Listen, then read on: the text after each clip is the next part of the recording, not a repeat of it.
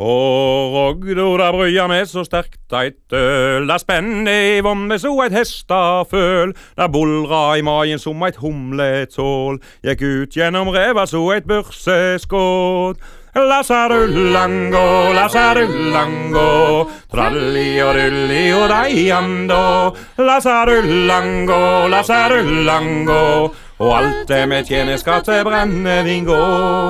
Svendsen han vakna med hodet så sårt, og det som var med han var slett ikke klart. Han rafte og sjangla så nyfødt føl, og supte og skreik etter meire øl. Lasarullango, lasarullango.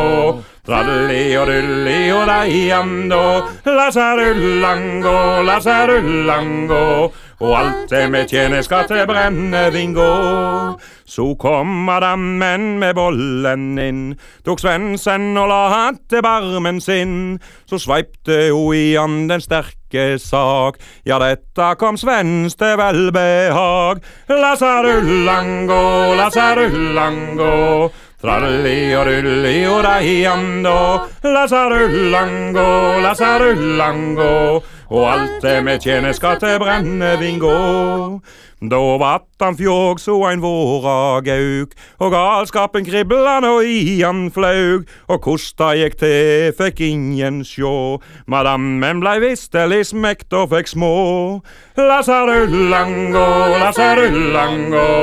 Tralli og rulli og deiando, lasarullango, lasarullango. Og alt det vi tjener skal til brennevin gå. Lasarullango, lasarullango.